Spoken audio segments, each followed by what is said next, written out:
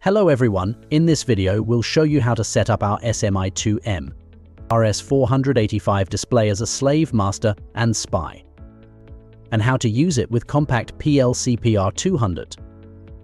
The SMI2M is a highly versatile and user-friendly device designed to seamlessly integrate into various industrial and automation systems. Its compact size and robust features make it an ideal choice for monitoring and displaying data. The SMI2M can work as a Modbus master, slave, or spy. It's an RS485 display that supports various data types, including integers, words, floats, and strings. The four-digit display can show information in red, yellow, and green, making it easy to read in any situation. Setting it up is simple with the akYtec Tool Pro software and a USB connection. The SMI2M supports Modbus RTU and ASCII protocols, so it works with many different systems. Its compact design makes it perfect for small spaces, and it includes password protection for added security. Now, let's configure the SMI2M display. First, connect the SMI2M to the PC using a micro USB cable. No external power supply is needed for configuration. Next, launch the akYtec ToolPro software on the PC. In a new project, click on Add Devices in the toolbar. In the open dialog, select the port being used as the interface. Now, select the protocol akYtec Auto Detection Protocol, click on Find Device, and then click Find. If the correct device is found, select it and click the button Add Devices to add the device to the project. Now, the device is ready to be configured. Let's start by loading the default values. This will undo any changes and give us a fresh start for setting things up. To load the default values, click on the Factory Settings toolbar item after resetting to default values, click on the Write Parameters toolbar item. Now, the SMI2M can be configured as a slave, master, or spy. However, there are some configurations that are common to all three Modbus modes, such as RS485 interfaces, display settings, and safe output state. Let's start by configuring the RS485 interface. Here, all default values can be seen, for demonstration purposes, we can change the baud rate from 9600 to 115,200 and leave all other values unchanged. Now, let's configure the display settings. For demonstration purposes, we can change the data type from int to real and set the decimal point to 2. All other parameters can be changed according to needs like display color, blinking. Here, we can configure the output safe state according to our requirements, for demonstration purposes, we can change the safe state timeout from 0 to 10 seconds, the safe state color from green to red. Lastly, click on the Write Parameters toolbar item to load all parameters into the SMI2M. Now, let's configure the SMI2M for specific Modbus slave mode. First, we will find our slave address, which can be found in the Modbus Common section. By default, the address in slave mode is 1 and byte order is unchanged. Let's change the slave address from 1 to 16 and byte order to swap registers. Next, we go to the device settings section and change the operation mode to slave if it was not already set to slave. By default, it is always set to slave. Now, our configuration for slave mode is complete click on the Write Parameters to load all the parameters into the SMI2M. Now, we can demonstrate the SMI2M as a slave and the PR200 PLC as a master. SMI2M as a Modbus slave receives commands and data from the Modbus master, such as sensor readings, machine statuses, or user inputs, but it cannot initiate requests for data. It updates its display accordingly, providing real-time information, historical data, or interactive controls as instructed by the master. Let's input some real values into the PR200 PLC and observe how they appear on the SMI2M display. First, open the akYtec LP software. Click on Device Settings, go to the interface, and change it to Master. The other parameters can remain the same as they are in the default mode, as indicated in the table. Now, go to the slave settings and change the address to 16, as we configured in the SMI2M. Additionally, we need to change our register order by clicking Register Order Change since we want to display real values, we declare a variable named dis underscore real of type real with register address 4206, as specified in the datasheet of the SMI2M, and we set the read function to 0x04 and the write function to 0x10. Next, we declare another variable named input of type real, which can be controlled by the display and joined to the network variable dis underscore real.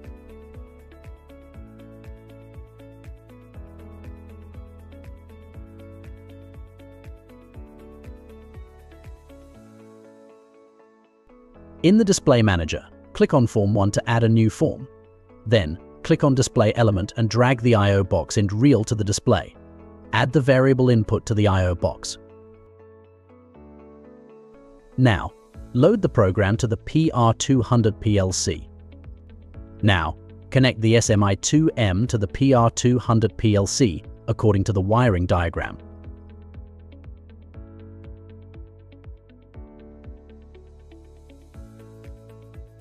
As you can see, when the value is changed in the PR200 display, the value also changes in the SMI2M display. Now let's configure the SMI2M as the master. We'll follow the same process as before. All the common parameters for the RS485 interface, display and safe output state can remain the same. To configure the SMI2M as the master, we need to make some changes in the Modbus master section.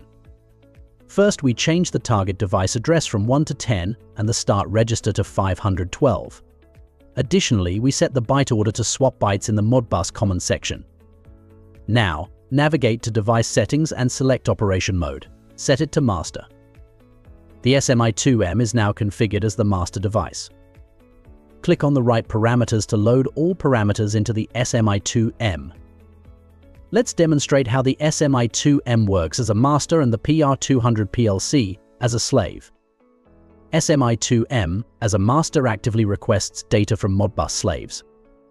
For example, in smart agriculture, it might pull soil moisture sensors and weather stations, optimizing irrigation and crop management. In an industrial context, such as a manufacturing facility, it could also communicate with machinery controllers, conveyor systems, and inventory sensors to gather operational data. This active engagement allows SMI2M to provide users with valuable insights and control over their systems. We can change the value on the slave PR200 PLC and observe how it appears on the master SMI2M display. First, open the akYtec LP software. Click on Device Settings, go to the interface, and change modus to slave if not already selected. The other parameters can remain the same as they are in the default mode. Now, go to the master settings and change the address to 10, as we configured in the SMI2M.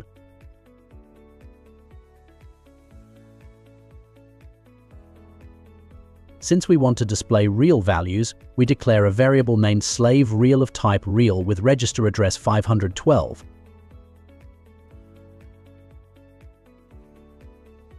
Next, we declare another local variable named input of type real, which can be controlled by the display and joined to the network variable slave real.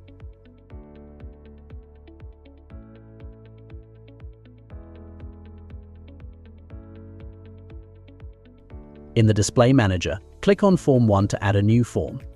Then, click on Display Element and drag the I.O. box in Real to the display. Add the variable input to the I.O. box. Now, load the program to the PR200.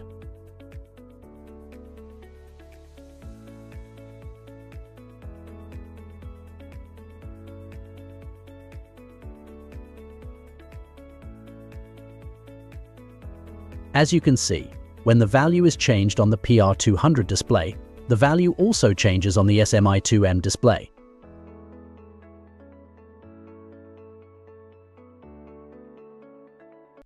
Now let's configure the SMI2M as the spy. We'll follow the same process as before. All the common parameters for the RS485 interface, display and safe output state can remain the same, to configure the SMI2M as the spy, we need to make some changes in the spy mode section. First, let's change the target device address from 1 to 15 and the start register to 4. We changed the target device address to 15 because, in this demonstration, we want to use our akYtec I.O. module product as a slave, which has the slave address 15. We want to read the temperature from a channel that has the register address 4. Our master in this demonstration will be our mini PLC PR200. Additionally, we set the byte order to swap registers in the Modbus Common section. Now navigate to Device Settings and select Operation Mode. Set it to spy. The SMI2M is now configured as the Modbus spy. Click on the Write Parameters toolbar item to load all parameters into the SMI2M. Now, let's demonstrate the SMI2M in Modbus Spy mode. SMI2M as a spy passively monitors communication between masters and slaves.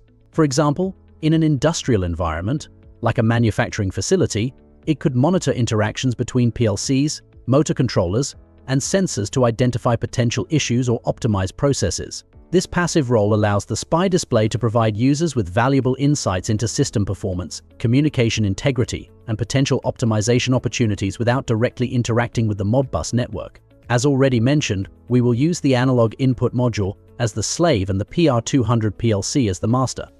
One temperature sensor is connected to channel 1 of the analog input module. Here we observe how the SMI2M displays the temperature when it is requested from the master to the slave. First, open the akYtec LP software, click on Device Settings, go to the interface, and change it to Master. The other parameters can remain the same as they are in the default mode. Next, add a slave by giving it a name and address 15. Since we want to read the temperature value from channel 1 of the analog input module, which has register address 4 and data type real, we declare a variable named temperature of type real and register address 4 with read function code 0x04 and write function code 0x10.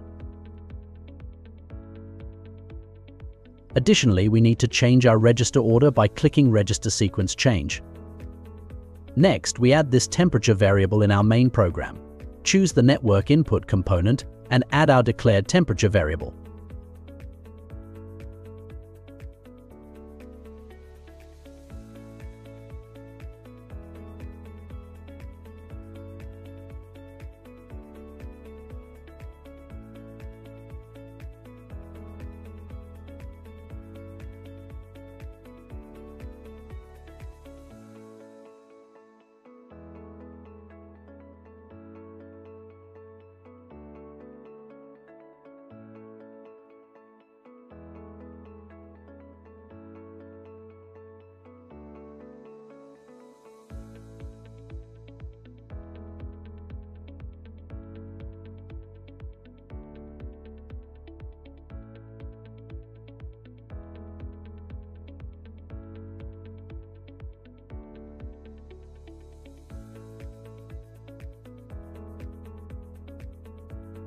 If everything is configured and connected correctly, the SMI2M should display the temperature.